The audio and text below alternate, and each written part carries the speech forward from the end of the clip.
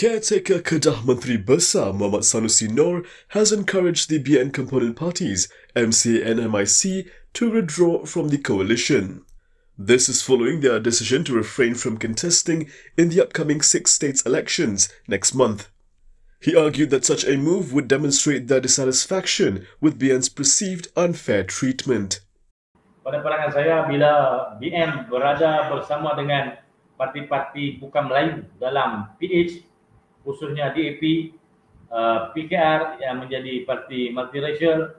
Jadi kerusi-kerusi yang uh, mix ni terpaksa diberi kepada uh, PH.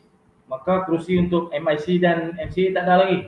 Jadi oleh kerana tidak diberi kerusi yang boleh menang, uh, bertanding untuk kalah. Lebih baik MIC dan MCA tidak bertanding. Dan saya rasa uh, hal ini perlu dilanjutkan lagi dengan MIC dan MCA keluar pada Barisan Nasional. Ini lebih lebih lebih apa? Munasabah. Sanusi proposed that the two parties would have encountered different circumstances if they were affiliated with Perikatan Nasional. He said PN would have allowed these parties to contest mixed seats.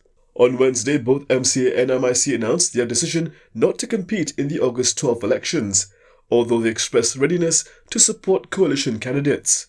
BN chairperson Ahmad Zahid Hamidi suggested that this decision was unlikely to be a boycott, promising to seek further clarification from the parties.